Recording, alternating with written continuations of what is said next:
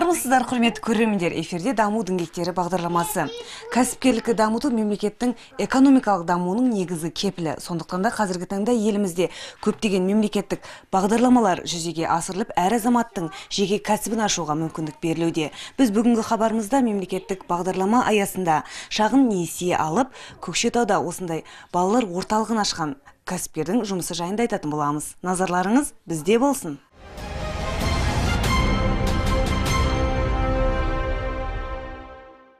Көкшетау қаласының тұрғыны анар батырғалиева нәтижелі жұмыспен қамту және жаппай кәсіпкерлікті қолдау мемлекеттік бағдарламасы аясында гранттық қаржыландыруға ие болып жеке кәсібін ашқан жандардың бірі. Ол өткен жылы көкшетау қалалық жұмыспен қамту орталығына барып мемлекеттің көмегімен жеке кәсібін ашу жайында мамандардың кеңесін алды.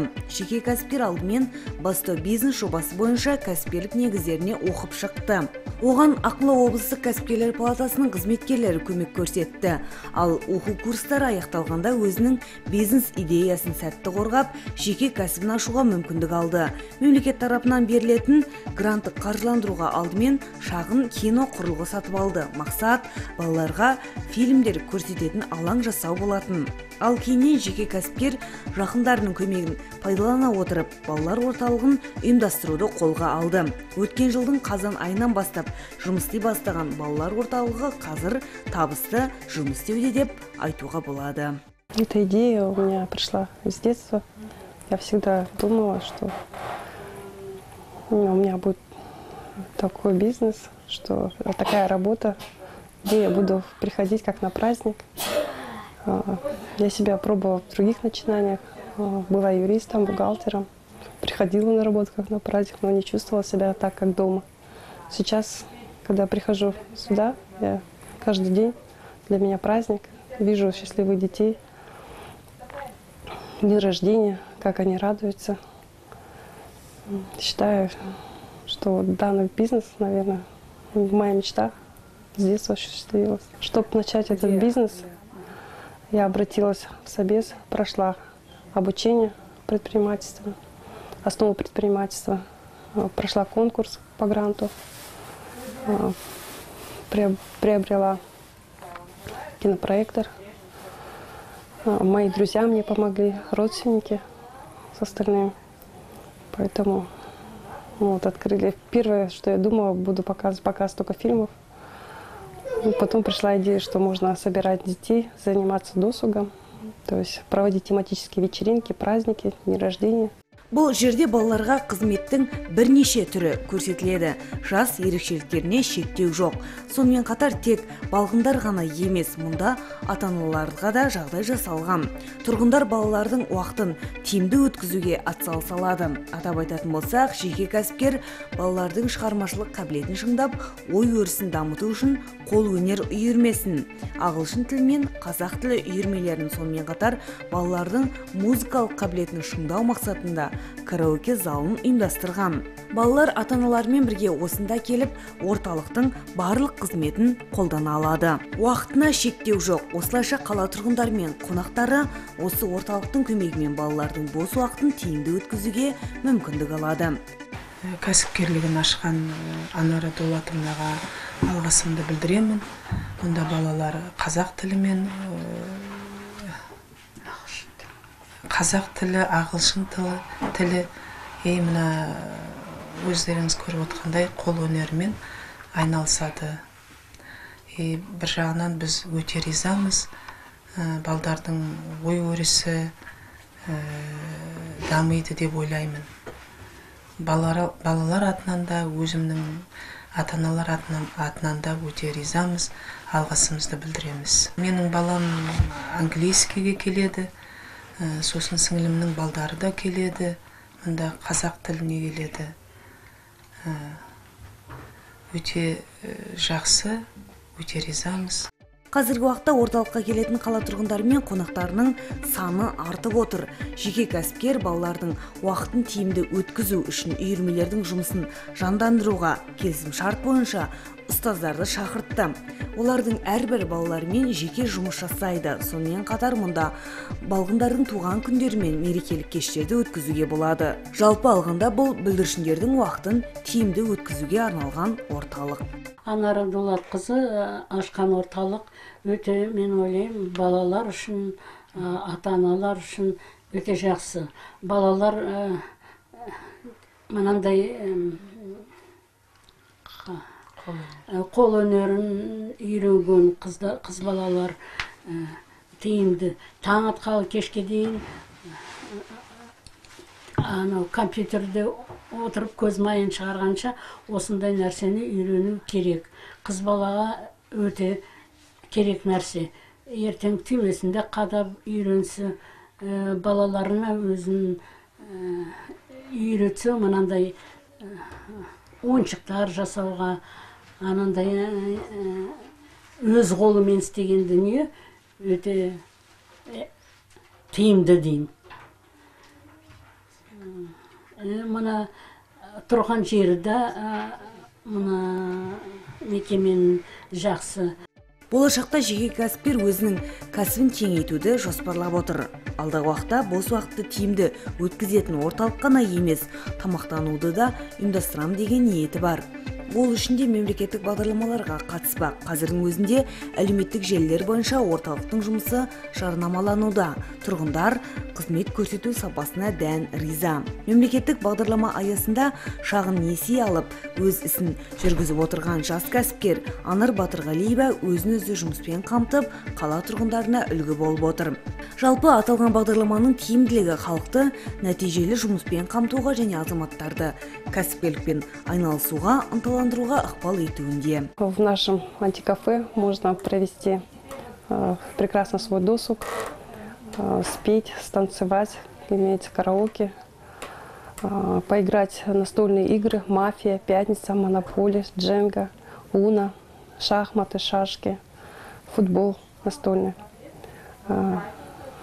Можно сидеть за одним столом, чаепитием провести, а также заняться рукоделием. У нас есть также кружки, которые изготавливают куклы, ро- ростовые куклы, это вязание. А, Детей готовим к дошкольному образованию.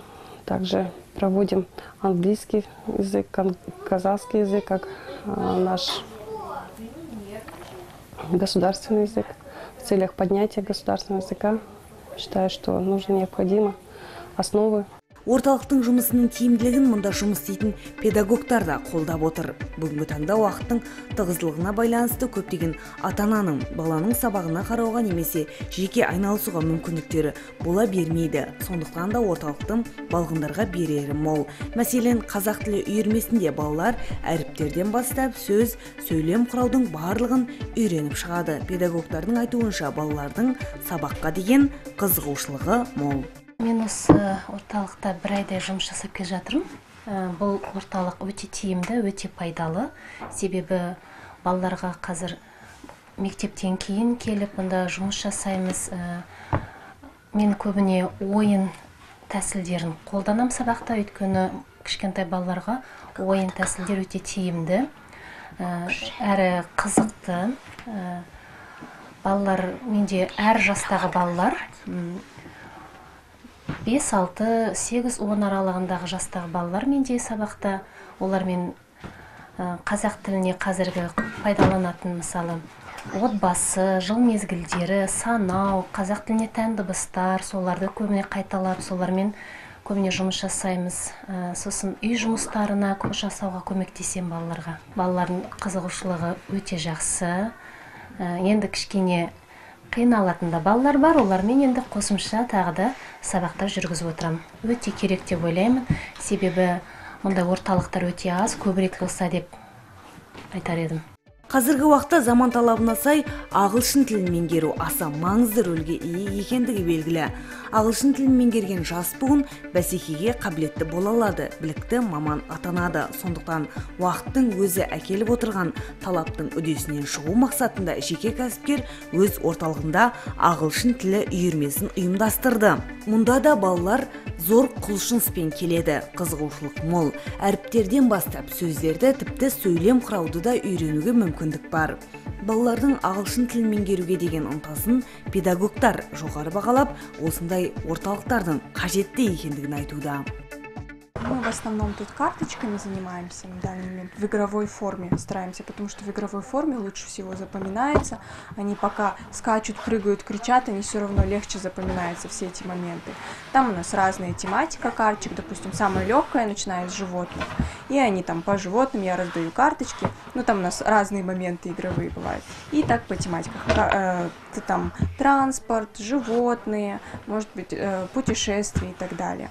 В игровой форме всегда у детей, у детей все лучше воспринимается. По поводу центров, мне кажется, такие центры нужны. Сейчас холодно, детям нам нужно где-то в тепле сидеть и отвлечься, поиграться, и одновременно чем-то полезным заняться по ходу игры, чтобы все воспринималось вместе с учебой, и с игрой, и с отдыхом. Жеке кәсіпкер елімізде осындай мемлекеттік бағдарламалар аясында жеке кәсібін ашып бизнеспен айналысуға мүмкіндік бар болғанына қуанышты екендігін жеткізуде. Біздің елімізде әр азаматтың өзінің жеке бизнесін жүргізуге көптеген мүмкіндік бар. Осы мақсатта мемлекеттік бағдарламаларда жұмыс істеуде. Елбасымыз әр жолдауында елімізде шағын және орта бизнесті дамытуға ерекше көңіл бөледі. Сондықтан да жас кәсіпкер анар батырғалиева мемлекеттің тарапынан шағын және орта бизнесті дамытуға бөлініп отырған. Мүмкіндіктердің барлығын тиімді пайдалану керек деп есептейді. Тек қорықпау керек. Өзі сияқты жеке кәсібін жаңадан бастап жатқан азаматтарға бастаған істі соңына дейін жеткізуге тырысу қажет және ынта болу керек деп кеңес береді. На сегодняшний день э, бизнес процветает, считаю, что идут. Самое главное, вот я вижу в людях, люди радуются. Э, Я вначале думала, что я здесь заработаю большие деньги, а на самом-то деле я заработала их спасибо, э, радость и счастье, оказывается, дорого стоит это. Ну, в дальнейшем я хочу расширить свою деятельность, участвовать еще в государственном гранте, открыть уже как питание, общественное питание. А также совместно это будет параллельно идти этот бизнес, то есть взять в аренду дополнительные здания, где можно было развить общепит. То есть детки не только могли с собой приносить, а могли тут же на месте покушать. И чтобы это продукты были, а, были дешевые по цене, потому что на сегодняшний день для студентов, чтобы могли приходить студенты. В стоимость нашу входят также конфеты, печенье вот сегодня, на сегодняшний день. Один час у нас стоит 600 тенге. И в 600 тенге входит конфеты, печенье и полностью все залы. Өткен жылы көкшетау қаласы бойынша 43 адам нәтижелі жұмыспен қамту және жаппай кәсіпкерлікті қолдау бағдарламасы аясында мемлекеттің қаржылай қолдауына ие болып өздерінің жеке кәсіптерін ашты. Мамандардың айтуынша көкшетаулықтардың көбі мал шаруашылығы арнайы орталықтар ашу және қызмет көрсету бағытында шағын несиелер алады. Сонымен қатар бастау бизнес бойынша кәсіпкерлік негіздеріне оқып өздерінің бизнес идеяларын қорғауға да мүмкіндіктер бар.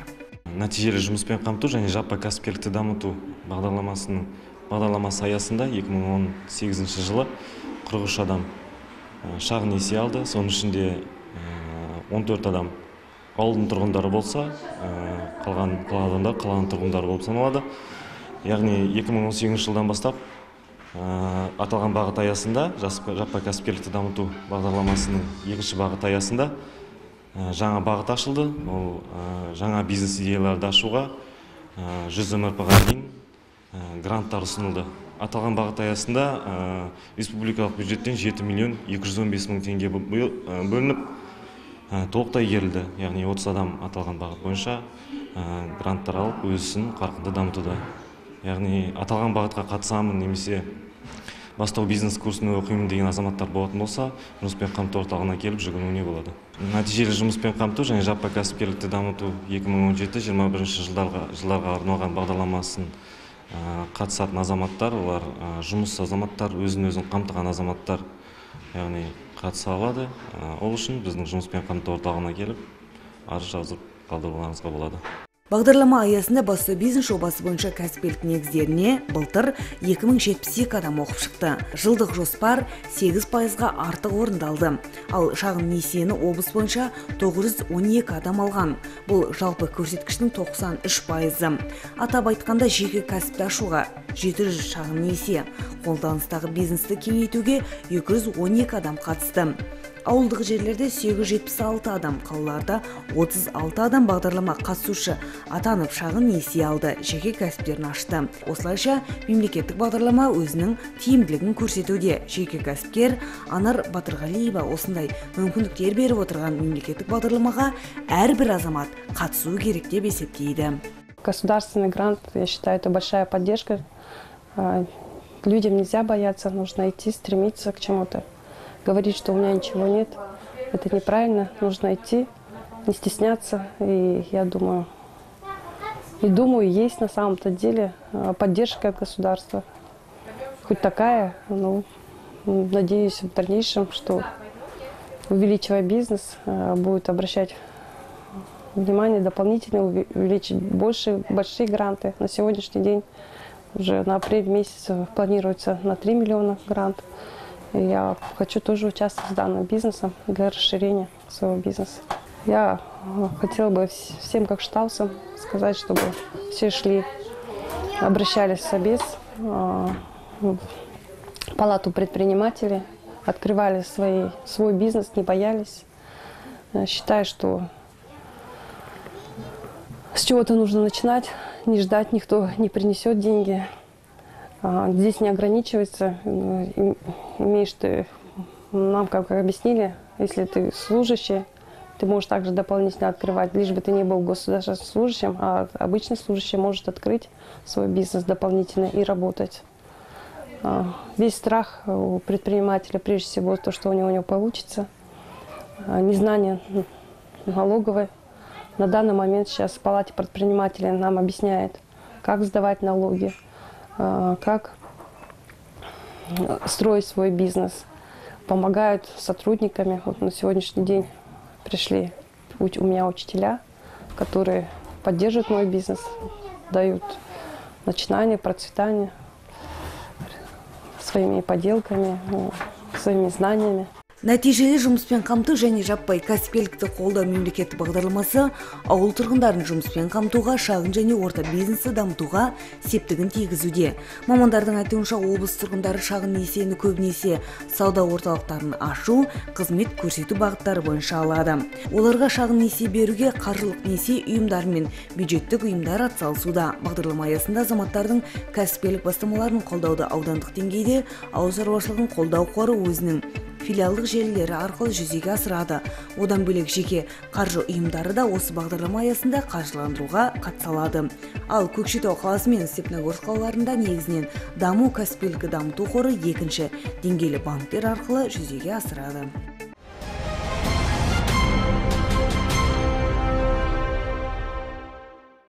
Қазақстан республикасында шағын және орта бизнестің дамуы нарықтың және кәсіпкерліктің кеңінен өркендеуімен байланыстыруға болады. Мемлекетіміздің тәуелсіздікке қол жеткізуі нарық экономикасына бет бұруының өзі елде кәсіпкерлік пен шағын және орта бизнеспен айналысуға міндетті етті. Бастапқы кезең ретінде көрінген кәсіпкерлік қызмет алғашқы жылдары біздің елімізде. Делдалдық қызмет ретінде жүзеге асты. Ал соңғы 5-6 жылда қолынан іс келетін азаматтар заңды тұлғалар әлемдік тәжірибе арқылы дәлелденген табыстың кілті кәсіпкерлік екендігін түсінді.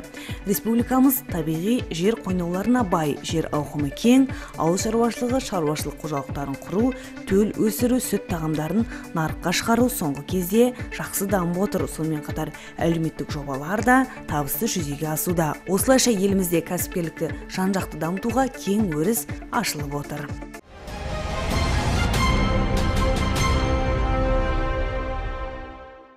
Нәтижелі жұмыспен қамту және жаппай кәсіпкерлікті дамыту мемлекеттік бағдарламасы еліміздегі шағын және орта бизнесті дамытуда өзінің тиімді екендігін көрсетуде. Мәселен өткен жылы көкшетау қаласы бойынша 43 кәсіпкер шағын несие алып өздерінің жеке кәсіптерін ашқан. Бұл бағыттағы жұмыстар енді алдағы уақытта да жалғасын табады. Құрметті көрермендер осымен даму діңгектері бағдарламасының кезекті шығарылымы өз мәресіне жетті. Эфирде келесі кездескенше аман сау болыңыздар.